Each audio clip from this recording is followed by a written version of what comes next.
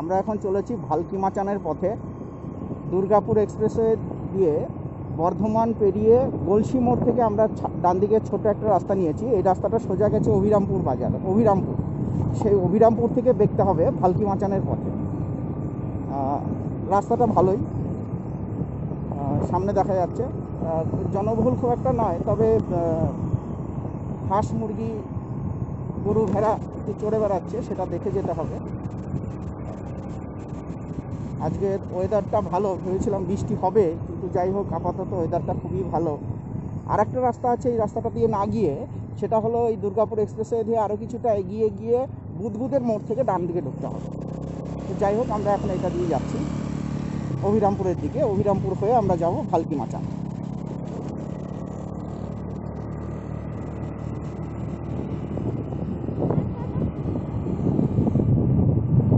সুন্দর গ্রাম বাংলার পরিবেশ ধান ক্ষেত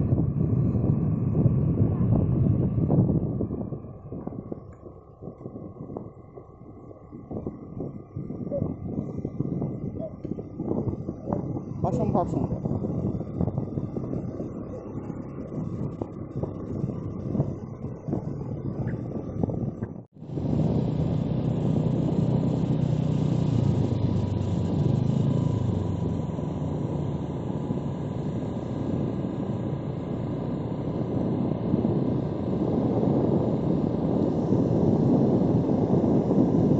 এটা দিয়ে ঢোকা হবে এটা দিয়ে হ্যাঁ হ্যাঁ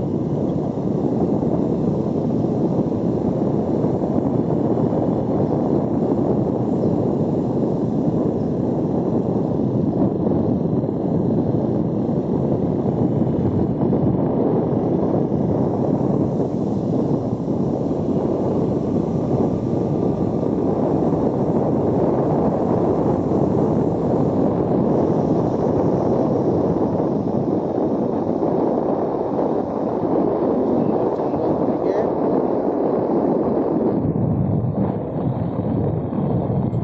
বেশ। আমরা প্রায় চলে এসেছি ভালকি মাচানের।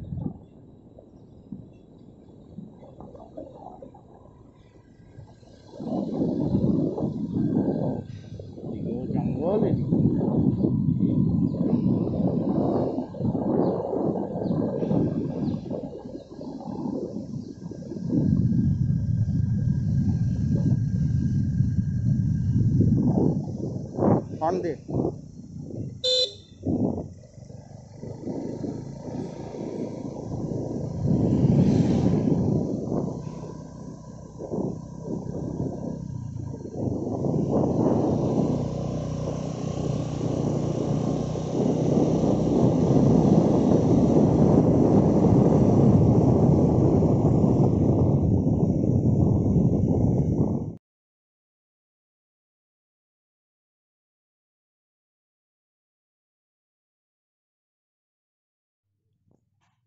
আমরা এখন পৌঁছে গেছি ভালকি মাচানে।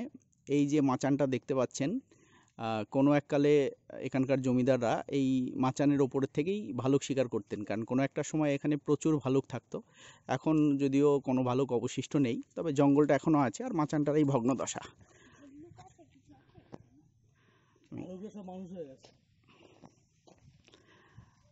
আমার সঙ্গে আছে আমার প্রিয় বন্ধুবর দেবসাধন এবং আমার নতুন বৌঠান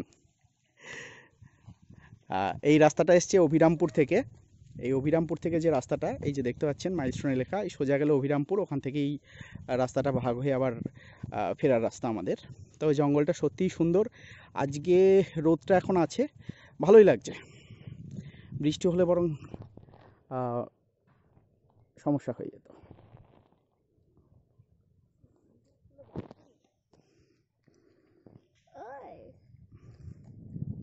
ওই আমি করো না কেউ বলো তো?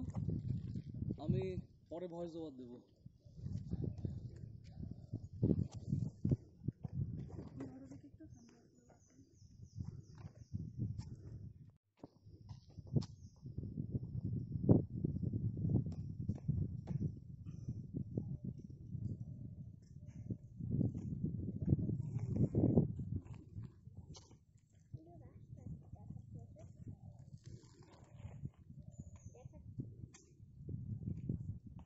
এই যে দিক দিয়ে রাস্তা